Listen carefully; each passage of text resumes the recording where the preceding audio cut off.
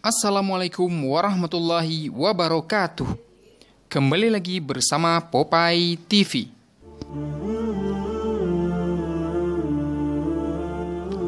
Menjadi seorang muslim adalah suatu anugerah terbesar yang harus disyukuri. Allah Subhanahu wa taala sangat menyayangi umat Nabi Muhammad tersebut. Sebagai bukti cinta Allah kepada setiap muslim, yaitu Allah menciptakan kita beserta panduan dan tuntunan hidup yaitu Al-Quran dan hadis. Kedua panduan tersebut akan menjadi penyelamat dalam kehidupan manusia apabila dipelajari dan diamalkan. Jika pada video sebelumnya Popeye TV sudah membahas tentang bukti-bukti nyata kebenaran Al-Quran yang terus terungkap, kali ini Popeye TV akan membahas beberapa bukti dari kebenaran hadis yang Nabi Muhammad SAW sampaikan. Tapi sebelum masuk ke videonya, silahkan klik tombol subscribe untuk kalian yang belum berlangganan. Dan nyalakan ikon lonceng untuk update terus informasi dari Popeye TV. Terima kasih.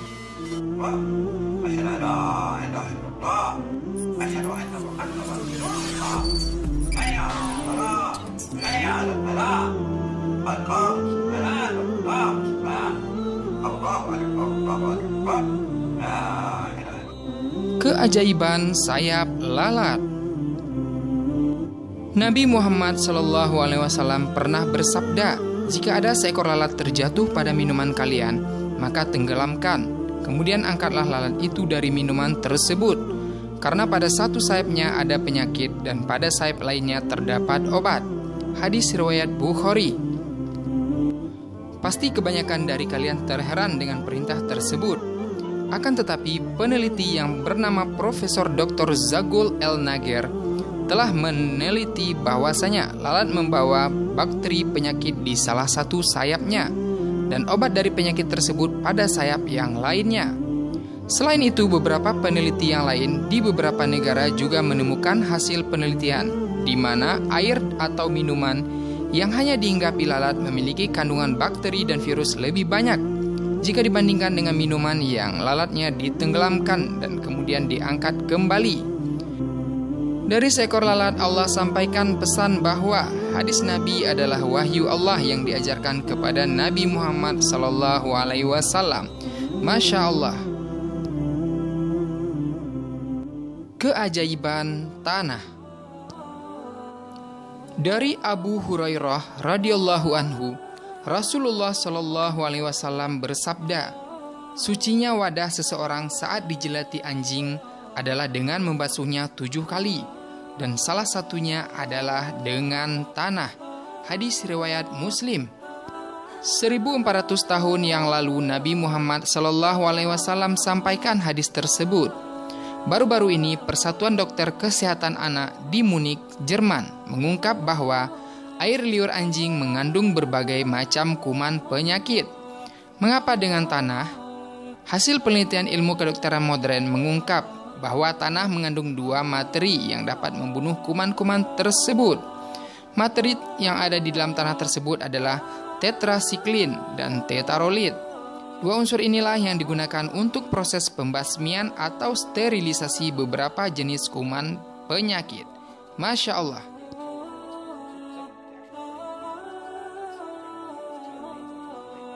Keajaiban tulang ekor. Nabi Shallallahu Alaihi Wasallam bersabda, seluruh bagian tubuh anak Adam akan musnah dimakan bumi, kecuali tulang ekor. Darinya lah ia diciptakan dan darinya lah ia dibangkitkan.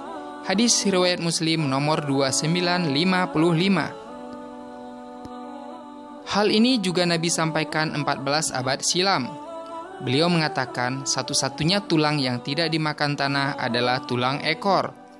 Nabi sampaikan hadis tersebut di saat penelitian dan teknologi belum ada untuk meneliti hal tersebut.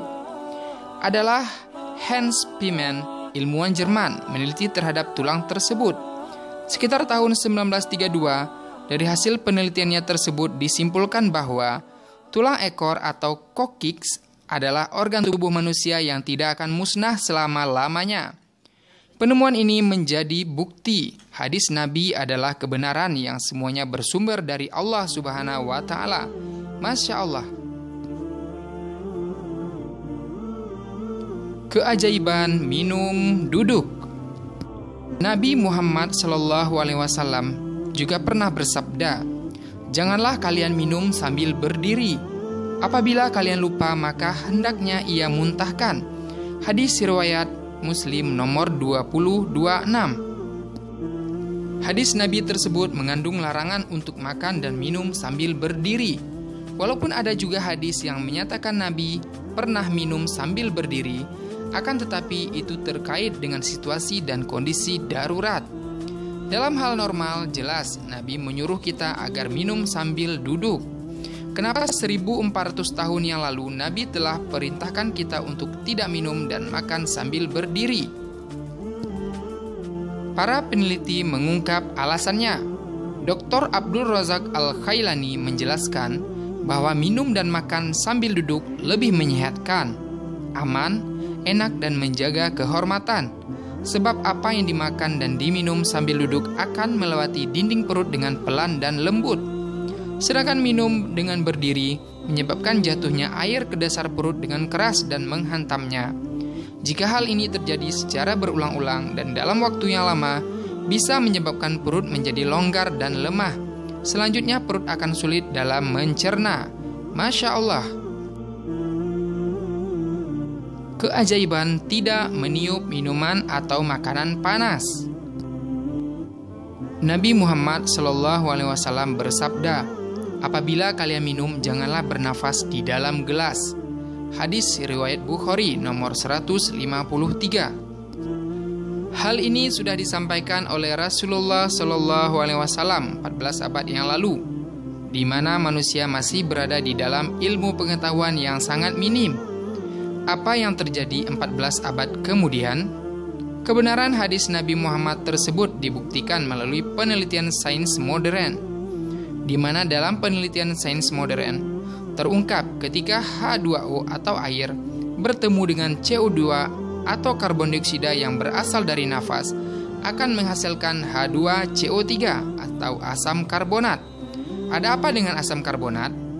Asam karbonat berpotensi menyebabkan penyakit jantung. Semakin tinggi kadar asam karbonat di dalam darah akan menyebabkan darah semakin asam. Dengan demikian, tubuh akan berada di dalam kondisi asidosis. Kondisi inilah yang dapat menyebabkan gangguan jantung. Air itu uh, secara kimianya adalah H2O. Di mana kalau karbon dioksida berikatan dengan uap air, dia akan menjadi asam karbonat. Tubuh kita sendiri juga sudah ada asam karbonat untuk menjaga supaya pH tetap stabil.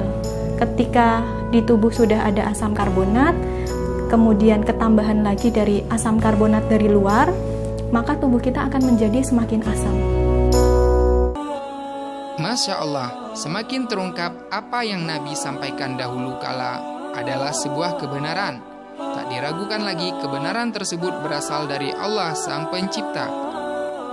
Itulah beberapa hadis Nabi yang kebenarannya diungkap oleh sains modern.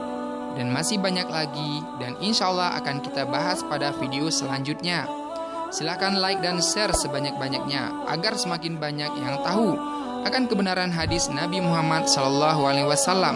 Silakan komen di bawah jika kalian memiliki info terkait kebenaran hadis yang lainnya. Terima kasih sudah menonton video ini sampai habis.